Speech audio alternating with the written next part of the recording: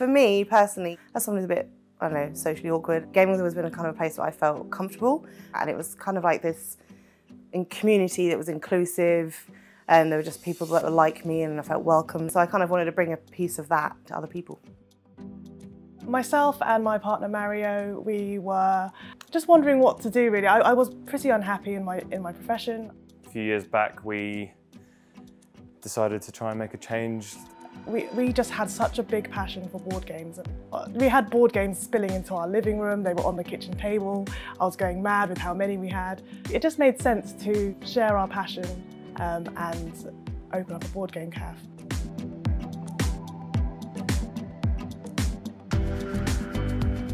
We started visiting a few cafes, um, seeing if it was something we could do feasibly together and we just thought, yeah, we'll just give it a go. When I take a minute and look back, I think, oh my God, we actually did it. It's not everyone that can say that they fulfilled their dreams.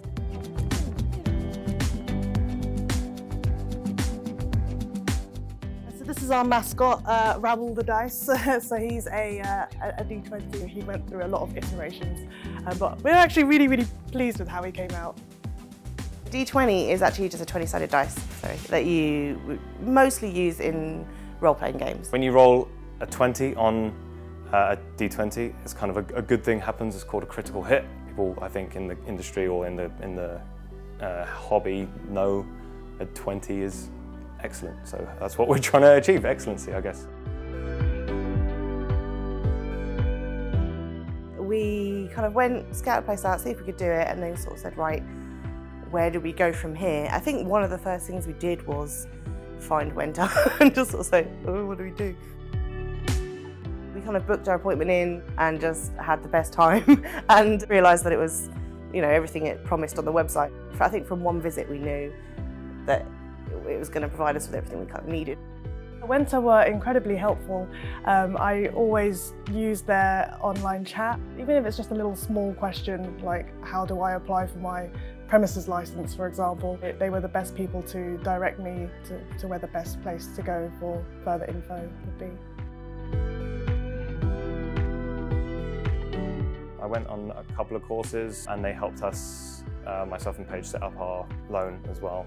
I'd never taken a loan before. They kind of really helped, like talked us through the process, let us know that everything would be fine. It was just comfortable. So unlike if you're going to like a bank and it's quite formal, like made you feel really welcome and really comfortable and really kind of like, you know, I don't know what I'm doing either, but I got there. you know, there was experience behind it um, and, you know, knowledge behind it as well as an informality and a friendliness and a welcomeness that you know made me comfortable, kind of brought us in and made us know we could you know go back time and time again, which we did. They were super helpful and we booked in for some like one-to-one -one sessions um, with a business advisor and that was amazing because even though we knew about our idea and we could see our vision, it gave us a lot of validation when a business advisor understood our vision as well. We've been to quite a few courses, startup courses, finance courses, stuff like that. Um, some of the networking was priceless. We've even been back on courses that we originally did now that we have a better insight into what we're doing. It was really good timing for us um, to have that one-to-one -one business advice. I'm not sure where we would have got it otherwise, to be honest, especially because it was free and we were quite lucky that it was quite local to us. I think we booked in three or four sessions for one-to-one -one advice and it was really, really helpful. We always go for them for any advice that we need, just to see what we could possibly do, what steps we need to take to maybe start a second location or maybe get permission for utilising the basement or whatever it, it would need they would definitely be the first people we contact. For anybody that's thinking about starting their own business, I definitely would recommend uh, seeking help from Wenta. They will be able to you know, see any gaps in, in your um, research or your business plan and give you the next steps of what you should be doing.